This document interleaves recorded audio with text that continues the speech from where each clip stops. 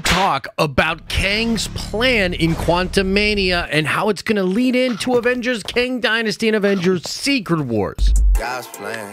This is absolutely crazy. Some of this is coming from the new Ant-Man 3 trailer, but a lot of this is coming from a brand new plot leak that is making its way around the internet and being corroborated by a lot of good insiders and scoopers. But don't worry, don't don't leave the video. We're not going to go into full spoilers. We're not going through the whole freaking plot of the movie, and instead, we're just going to focus on a couple of crazy things about Kang the freaking Conqueror because it's absolutely dope and has a lot to do with where the Avengers movies are headed. So before we get into the plot leak stuff, can we just talk about how damn awesome awesome Kang the Conqueror looks. I love the look of Jonathan Major in the armor. I love the scars that they have on his face. And this poster for Kang looking down at Ant Man and the Wasp is one of the best posters Marvel Studios has ever done. But I absolutely love the look of Kang in his full on suit with his helmet on. It looks perfect, dude. He looks just like a lot of fan art had made him out to be with Jonathan Majors. And the technology that he is using looks absolutely epic. It looks like there's this whole army going on in the quantum realm. And upon seeing some of the visuals for Kang's time chair in the movie, many fans are pointing out just how similar these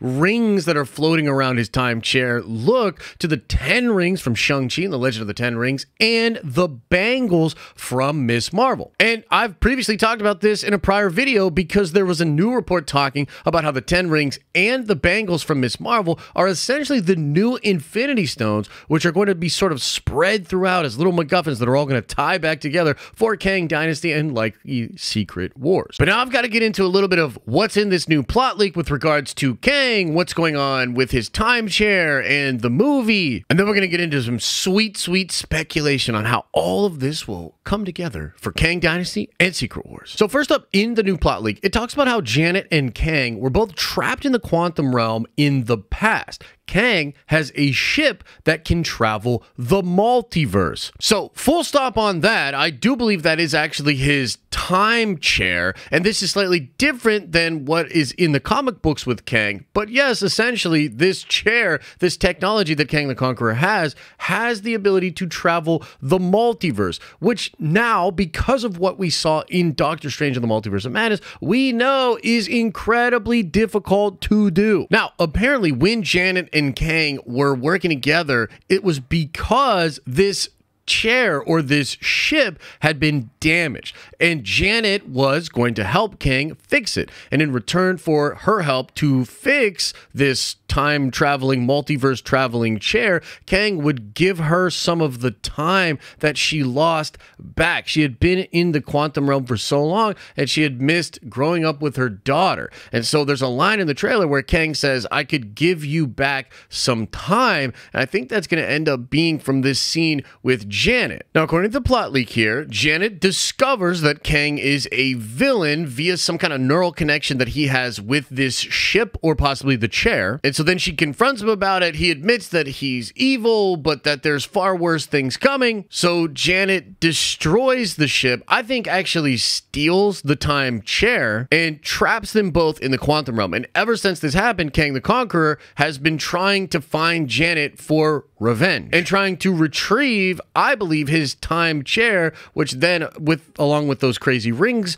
would allow him to travel through the multiverse. Kang reveals that he's beaten the Avengers several times before. He even asks Ant Man if he's the one with the hammer, referring to Thor. Kang also reveals that because Janet screwed him over, the first universe he's going to conquer is going to be hers, the 616. And then Kang the Conqueror reveals that he has this epic army that he's going to take with him to then go conquer all of the different universes. So, okay, let's break this down. Let's talk about this. This is absolutely nuts, okay? Now, this goes again into that video I did a couple of weeks back about the 10 rings and about the bangles, and I do believe that really what these things are going to be is the quantum bands and the Nega bands. So the bangle sort of a different version of that that the Kree invented to jump around the, the galaxy or the universe, but ultimately the old version, right, the 10 rings themselves I think are going to be quantum bands. And I think that those same bands are what allow Kang to be able to travel not only through different time, but through the multiverse. And it's crazy because even in that other video, I sort of pontificated or speculated that technology, like the Ten Rings, would be used by Shang-Chi and the Avengers to maybe go into different universes. So now, after Quantumania, it seems like Kang will be just in our world, possibly with his army, and he's going to want to conquer our universe first before going on to conquer the rest of the universe. And yet he's still afraid of other variant versions of himself. And so to me, it's very likely that Kang Dynasty is going to be about Kang trying to take over Earth, you know, beating the Avengers for another time and becoming sort of the ruler of Earth and therefore effectively taking over this entire universe and then maybe even aiming to go into other universes to take them over as well. I don't necessarily know for sure that the entire plot of Kang Dynasty will take place on 616. Like, it's possible he'll be hopping into different universes. Maybe even the Avengers, with the use of the Ten Rings, will be hopping into different universes to go after him or to stop him. And I'm interested in whether or not Kang is starting the incursions? Like, is him being in different universes going to cause different incursions to happen? Or are the incursions already happening? And is Kang conquering different universes to blow up the Earths to therefore then stop the incursions from happening? Because, I mean, effectively, we have to do Kang Dynasty and then we have to get to Secret Wars. And obviously, it feels like the incursions are going to play a big role in that. It takes me back to that scene where He Who Remains is talking to Loki and Sylvie, and he says, I want to prevent the end of everything. And as soon as he said that line back then in the show, to me, that felt like the collapsing of the multiverse. That perhaps what He Who Remains was ultimately trying to do with the sacred timeline was prevent incursions from happening that then would therefore destroy the entire multiverse. Because if you think about it, they're talking about different timelines sort of colliding into each other. And that really does feel like maybe an incursion. And so the most important thing to keep in mind here is that we now know the motivation for this version of Kang,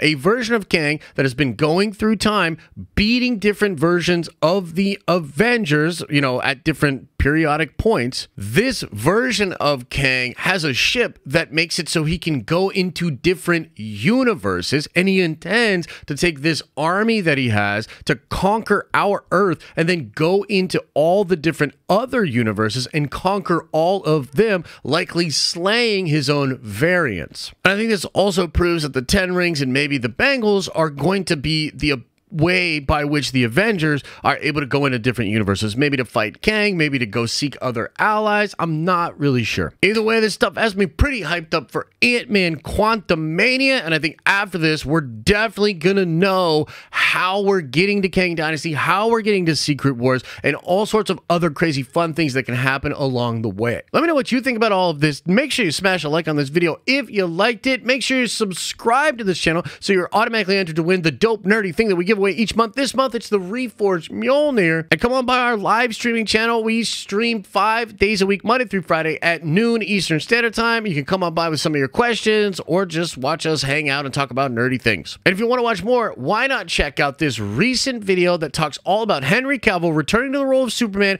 and whether or not Dwayne Johnson should be given the keys to the DC Films kingdom.